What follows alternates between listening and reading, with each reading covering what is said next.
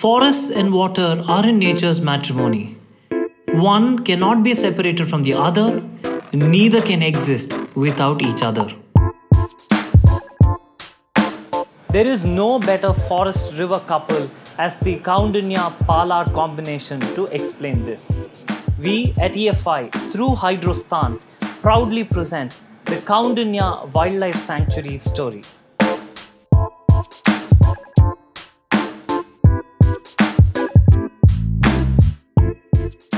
Spread across southern Andhra Pradesh and a portion of northern Tamil Nadu, the Kaundinya forest is a blessing in the otherwise barren dry belt. With its hills, valleys, and deep pocket reserves, this jungle is Andhra Pradesh's only elephant sanctuary. Kaundinya is rather a newly protected zone, as a herd or two of elephants from the Hosur division of Tamil Nadu's forests and a few from Karnataka migrated to this green pasture to make it their home. The Andhra Pradesh government felt the need to set up this wildlife sanctuary thanks to the migrating elephants. The Kaigal and Kaundinya rivers that run within the sanctuary are tributaries of the Palar River.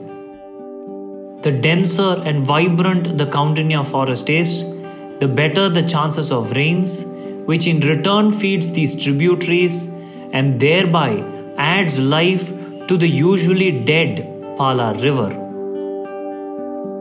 For the Palar to be an active riverine system, it is important that the Kaundinya is well protected.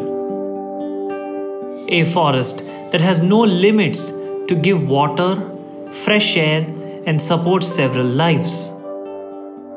A forest that is more than just a picturesque location and is a lifeline.